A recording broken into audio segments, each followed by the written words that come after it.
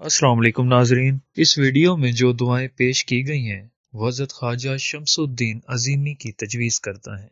तो आइए शुरू करते हैं। शक्की मिजाज शोहर।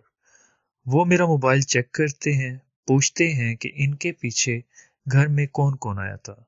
मर्द का शक्की होना दरअसल एक नफसियाती आर्जा है। ऐसे मर्दों को मुनासिब नफसियाती काउंसलिंग की ज़रूरत होती है। लेकिन ऐसा मरीज़ काउंसलिंग के लिए तैयार ही नहीं होता।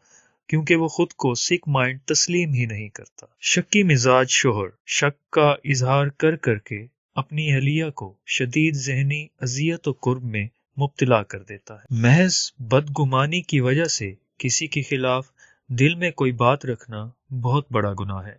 रात सोने से पहले 21 मरतबा सूरह हुजरात उनचास की आयत नंबर 12 और 21 मरतबा सूरह नास। ग्यारह ग्यारह मरतबा अव्वल व आखिर दरूद शरीफ के साथ पढ़कर अपने शोहर का तस्वुर करके दम कर दें और दुआ करें कि उनका दिल शक और वसवसों से पाक हो जाए और उनके दिल में भरोसा और एतमाद कायम हो जाए।